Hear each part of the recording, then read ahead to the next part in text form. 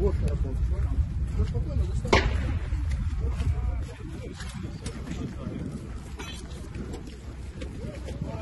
Слава Україні!